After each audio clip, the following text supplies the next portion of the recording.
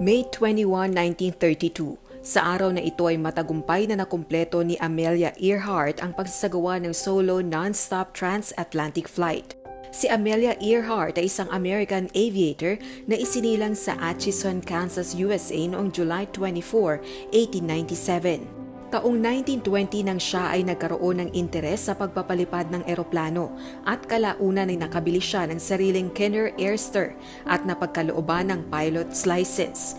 Hinangad niya na tularan ang nagawa ng popular na aviator na si Charles Lindbergh na mag-isang nakatawid ng Atlantic Ocean at nakarating sa Paris, France.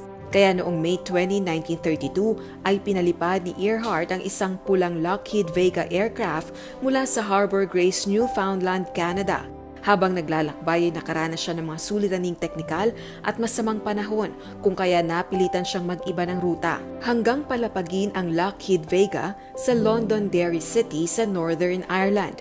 Ang kanyang naging paglakbay ay tumagal ng labing apat na oras at 56 na minuto. Dahil sa nagawa ni Amelia Earhart ay iginawad sa kanya ni US Vice President Charles Curtis ang Distinguished Flying Cross Medal noong July 29, 1932.